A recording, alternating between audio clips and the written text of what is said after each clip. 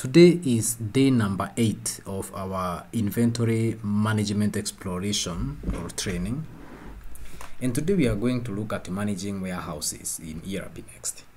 I know that um, we already looked at how to create warehouses in our previous videos, but today I want us to dive deeper into uh, more concepts about warehouses. So I've prepared three slides here. Actually, the first one has only this content because again, I want to dive into the most important uh, things, not just the theory. Number one, I would like to quickly discuss uh, the key characteristics rather of a warehouse and these are number one and by the way what is a warehouse? Because uh, we may not know what a warehouse is or some people may be hearing warehouse and start thinking that that is a very complicated thing and my business that doesn't have such. No. A warehouse is basically that physical uh, place or it could even be sometimes uh, it could be sometimes virtual where you are storing goods or raw materials or finished products so if you have a shop where you are storing some items or where you are keeping some items, that is a warehouse. If, for example, you are a pharmacy, that shelf you have is your warehouse. If you have something um, at the back, where, for example, if you go to pharmacies, you'll find that there is the front side where you can see where there is what looks like a display that can be considered as a warehouse and then there is another place back there where they go sometimes to get you medicine that also is a warehouse and let me tell you in ERP Next, that shelf you have there, I know that shelf, you know that it's a shelf with multiple uh, locations there. Even those locations, you can treat those as warehouses. Yeah. And that is why we are going to see in the part number two here, we have uh, let me see. Is it even here? Yeah hierarchy. Hierarchy. This hierarchy that we have here. That is what this thing means that you can have a, a, a warehouse that is a parent of other warehouses. Yeah so we can we can even consider that as that. So that is basically what a warehouse is. And i wanted to discuss very briefly what are the key characteristic characteristics of a warehouse. The number one is storage location. Now this basically is a storage location Eh, eh, where you store your eh, uh, like a central place where your items are stored. So it could be a retail shop or it could even be a virtual location which you have placed somewhere for purposes of tracking your stock. That is one characteristic. The second one is that there is stock tracking. And what i can see here is that in ERP Next, every warehouse tracks its own stock levels or inventory levels. So the, there could be relationship between warehouses, but each warehouse tracks its own inventory. So uh, that's another characteristic of a warehouse. Characteristic of a warehouse, it keeps its own inventory, so you are able to tell at any one time how much stock is in whichever uh, warehouse. Number three is hierarchy, and I already mentioned this one. This is where you are able to group uh, warehouses uh, with a parent-child relationship. So if you have warehouses that are have a hierarchy where you have one main warehouse with small other warehouses inside, and this situation is there a lot, then you can also do that within ERP Next. And the other one is purpose. And in the purpose, we have a number of purposes when it comes to warehouses. And I have highlighted a few. Number one is that you can have a warehouse for raw materials, though that is basically a warehouse where you store things that are supposed to be used to make other things. Then you have a warehouse for finished goods. This is where you store goods that are ready to go into the market. And then you have a warehouse that you can call distribution. I mean, these are just three that I have given. Distribution warehouse where you can store things that are, you know, uh, on their way out to the market. You can call that a distribution uh, warehouse. Uh, you can think about purposes. These are just the three that I've made for the purpose of this video. There can be many purposes of warehouses depending on the kind of business that you are running. The other thing and the fifth characteristic that I want to discuss as the final one here is transactions involving the warehouse. So I want to look at and a few like three or four transactions that we can have in a warehouse or even five. Number one is stock entry. So you every warehouse that you, you will have in your ERP next will give you the possibility to add or remove uh, uh, uh, inventory from it. It could be because you are maybe uh, transferring or something like that. Number two is stock transfer. Stock transfer is where you need to move your uh, inventory from one warehouse to another place. It could be because you are moving it stock from one warehouse to another warehouse within your uh, your business. Every warehouse that you're going to have within ERPNext is going to give you that capability, the capability to to uh, do transfers within warehouses. You can call them inter warehouse transfers. And the third one, so the first one was stock entry, the second one is uh, stock transfer.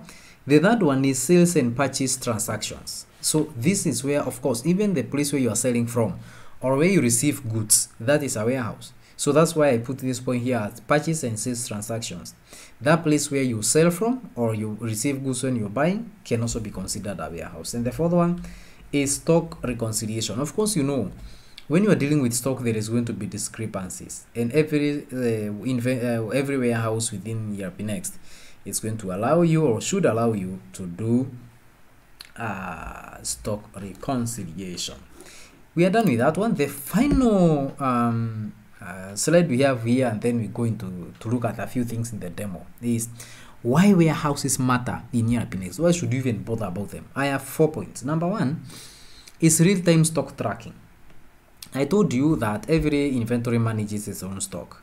And you know that uh, if you are running a business and you're operating from some kind of a warehouse, every time you sell, a update is real time. Every time you buy or you replenish your stock, the update is real time. If you do reconciliation, the update is real time. So that's a big plus. Number two, so so basically that is going to give you an eagle's eye of what is happening within your business. You can tell at whatever time how much stock you have within your organization. You can tell what is running out or what you need to order and things like those. Number two is improved organization. And in improved organization we can talk about management of multiple locations you know. You could have like say even two three organi- uh, locations managing those things without proper inventory management can be chaotic. So if you are able to group or rather to create these warehouses, then you're going to make it uh, to get it very easy managing your warehouses or your business. The third point is support for multiple locations. That one is a big plus, and I think I already uh, mentioned it.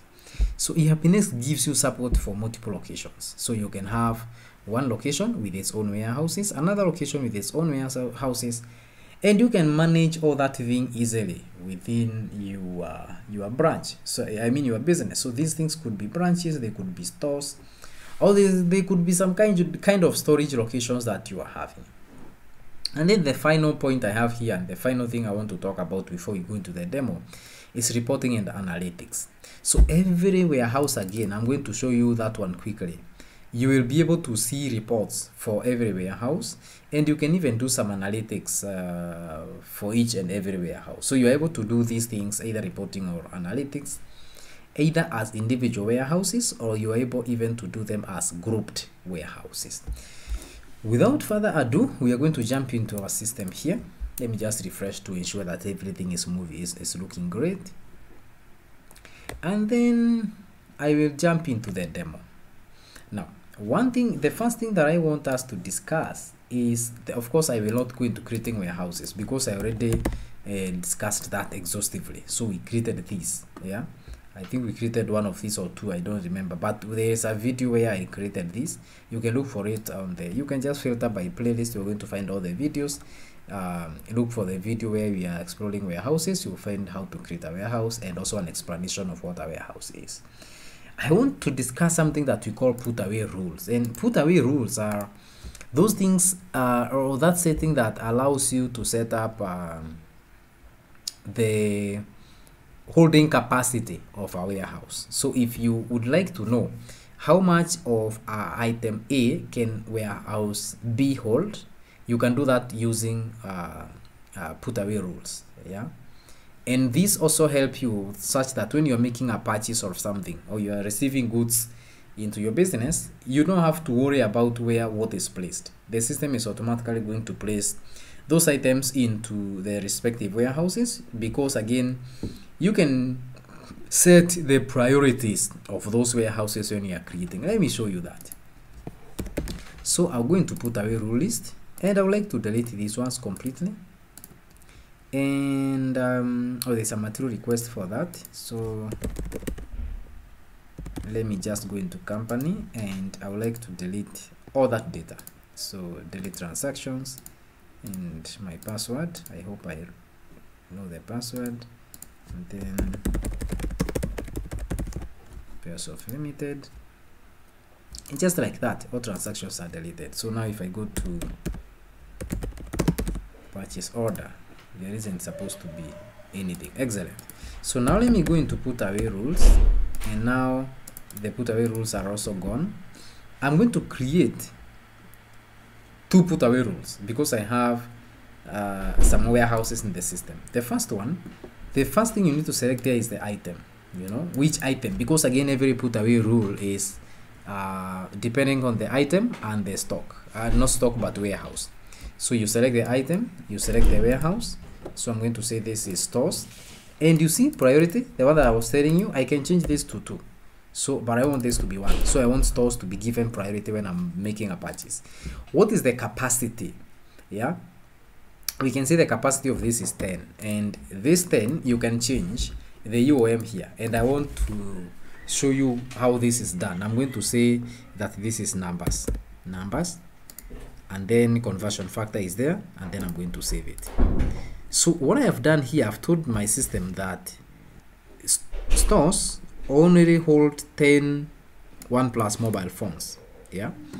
I will not uh, do away with this tab. I want to open another tab and show you something. Now we want to go into purchase order. Oh my goodness, what have I been typing? Uh, purchase order here and I'm going to create a new purchase order. And this is going to be for whichever supplier. I quickly go here and select my phone. Now when I do that what happens is that the system takes the UOM of carton because that is the default UOM and let me show you something. We are just buying two yeah? Remember that a carton here has I don't know we set up how many.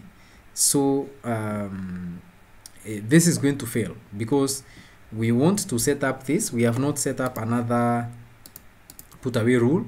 So the system thinks that the only place we can place mobile phones this is OnePlus mobile phones is in the stores warehouse. And you see the stores warehouse uh, can only take how many? Can only take 10 uh, 10 mobile phones not even 10 cartons. So i will save this and then i'll submit it.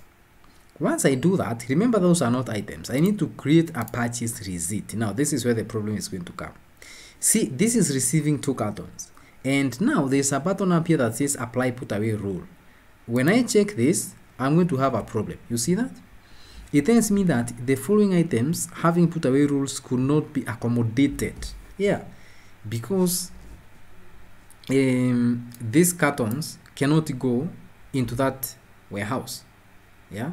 What if I go to this put away rule and I change this to carton?